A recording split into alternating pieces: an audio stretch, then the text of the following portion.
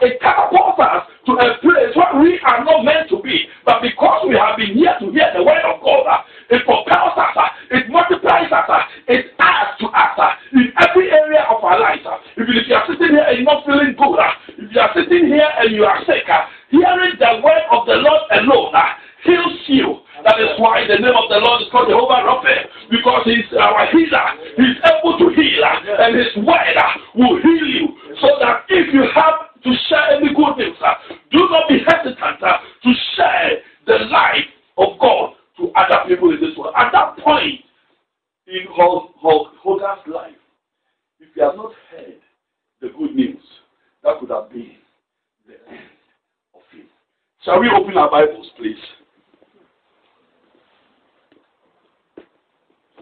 To Second Kings, verse 7. Second Kings 7.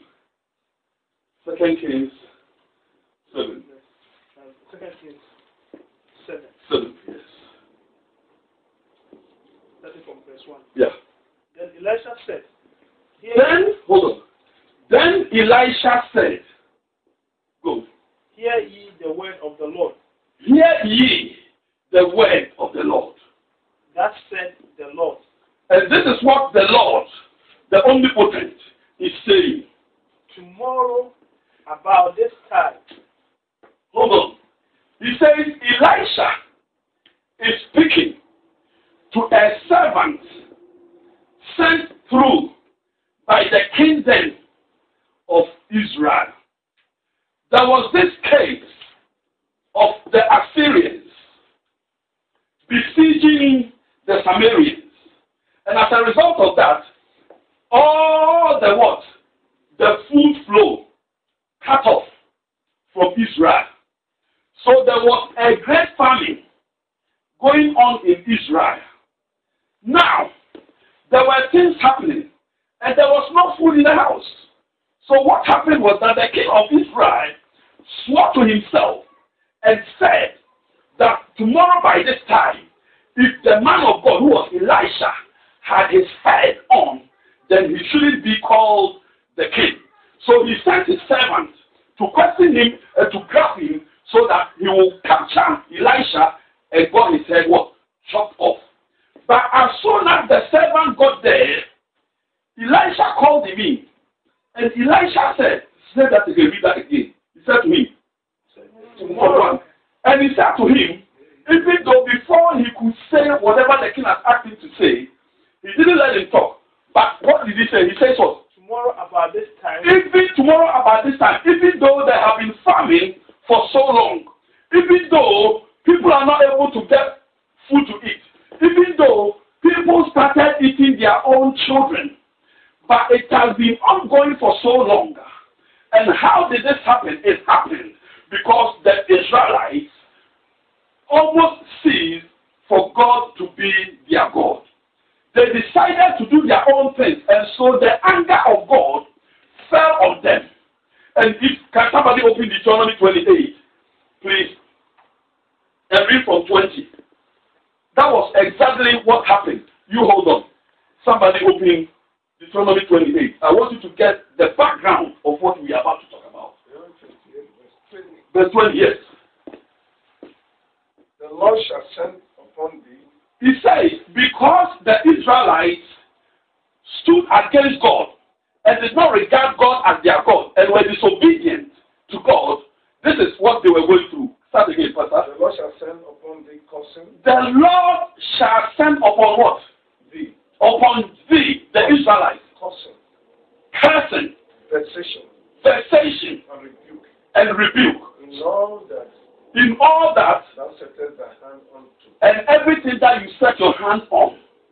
So because you have refused, God bless you, to accept God for being your God, there is curse on you.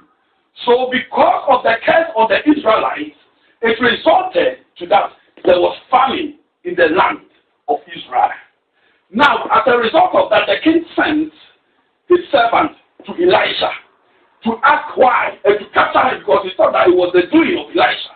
So before, as soon as he got there, this is what Elisha said to him, go. is tomorrow about this time, And Elisha told him that tomorrow around this time, shall a measure of fine flour be sold for a shekel, a measure of a fine flour that you can't afford to buy, very expensive, but it has been ongoing because there is famine. But tomorrow around this time, a measure of fine flour shall be shall cost what? sold for Shall be sold for what? A shekel like a pesewa. Go.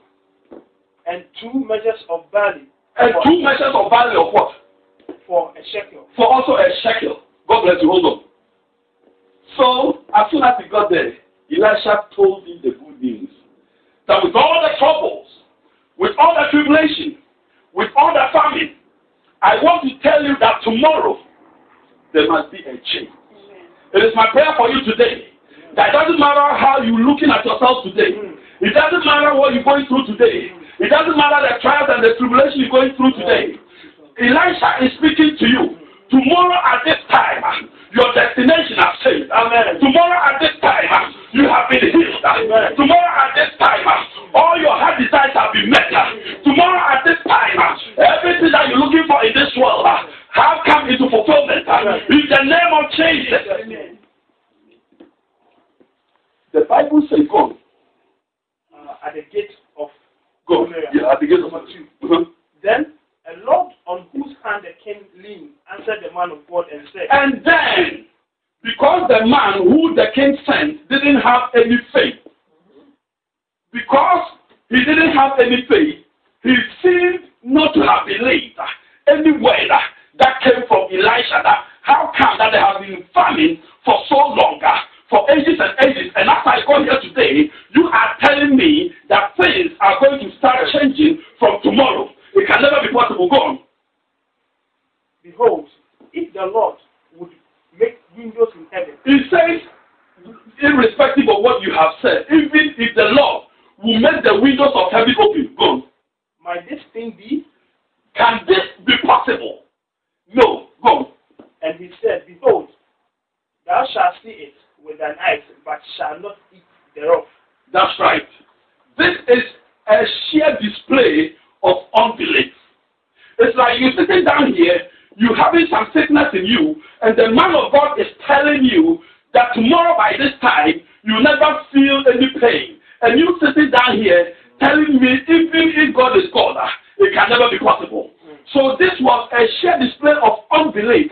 And when you display unbelief, you have the effect. And then Elisha said to him, Because of your unbelief, your eyes will see, but you can never enjoy the richness of God.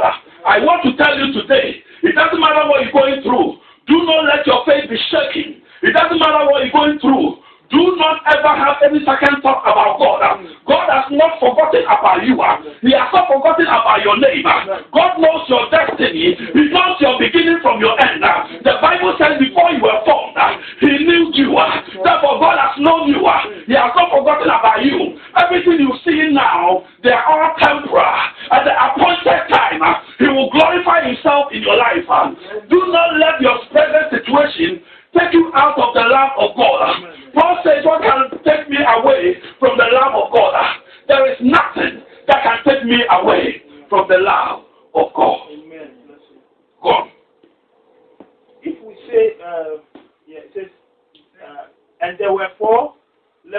Now. at the entering. Because of what happened, you know leprosy. As at that age, if you are a leper, you do not, or we don't count you as humans. So we always make sure that you are exterminated. Meaning that if you are a leper, if you have leprosy, they have a place for you. You don't belong to human beings. So as this was going on, there were these four lepers. In fact, they were disgraced because of their sickness. In fact, they themselves knew that they were not up to anything. So because they had been thrown out, there was something that came into their their their, their, minds. About four of them. And let's listen to what they did. And there were four leprous men at the entering. And there were four leprous men at the entrance of the gate. So they had been exterminated out there. and they said one to another, And then, because they have been sent out there, they know that they don't have much chance to live. Therefore, they decided to risk their lives. If they works, it works. If it doesn't work and they die, they die. Go. Why sit we here until we die? Why sit we here? Why are we sitting here until we die? Even though we know that no matter what, we are going to die anyway. But then why are we sitting here? Why don't we make a move? ah? Why don't we make a step? ah? Why don't we move forward? ah? In life, there are at times we feel so comfortable at where we are. And it is very dangerous. I want to tell you that the blessings that the Lord has for you, you have not even experienced even one bit. Amen. Therefore, if you are so comfortable at where you are, I want to tell you that that is not God, what God has orchestrated for you. God wants you to move higher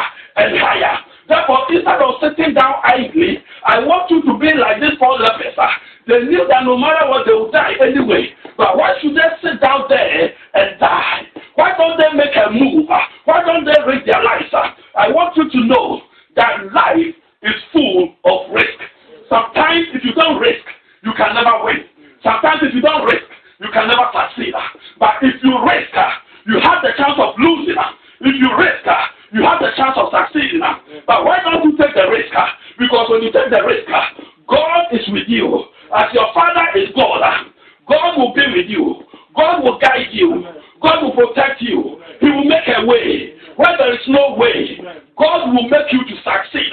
So the Bible says ah, the leper, the leper decided ah, to make a move. Go. If we say we will enter into the city, And if the we, famine is in the city, then the what?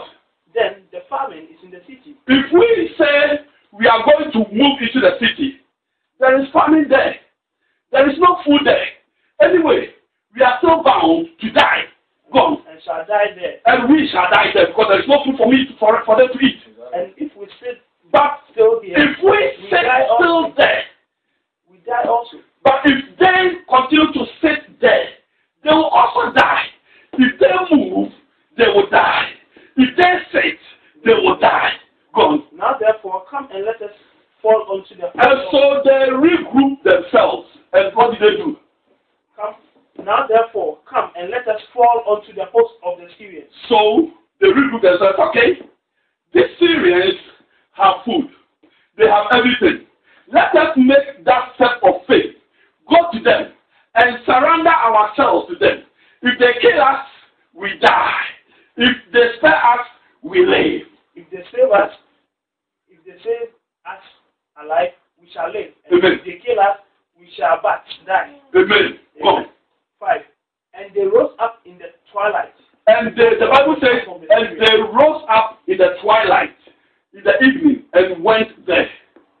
And when they were come to the uttermost part of the camp of Syria, behold, there was no man there. Go. For the Lord had made the host of the Syrians to hear a noise of chariots and a noise of horses, Hallelujah. the noise of a great host. Hallelujah. And they said God bless you. another, God bless you. You see, they said if we sit down, we will die. Let me pass you this. Tissue, please. Let me tissue. Thank you. If we sit down, we will die. If we move on, we will die. Therefore, we will go and surrender to the what? The Syrians. The Bible says, and when these four lepers go to the entrance, God changed the situation. And he ordered what? Noises of Noises of chariots and noises of horses, and noises of hor- horses if the noise of a great host. and the noise of a great host. So he orchestrated it so that he put fear into the Syrians, the Assyrians. And when they heard the footsteps of the lepers, God changed their footsteps like chariots and horses. So the Assyrians thought that there were horses and chariots coming after them. So they fled.